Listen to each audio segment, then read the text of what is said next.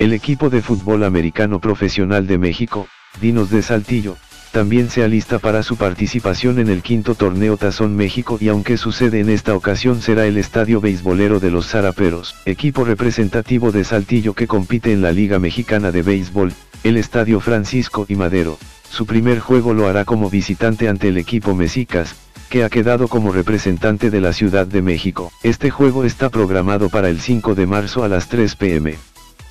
El primer juego como local será el día 12 de marzo ante Fundidores de Monterrey a las 7 pm, en el estadio ya mencionado.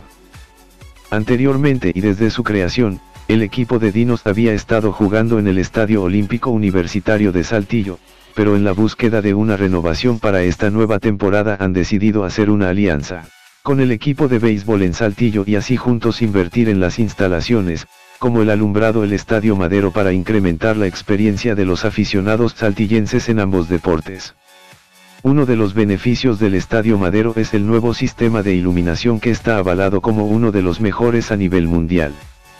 Tendrá tienda de los souvenirs con la mercancía de ambos equipos, así como instalaciones para la venta de bebidas, entre otros servicios.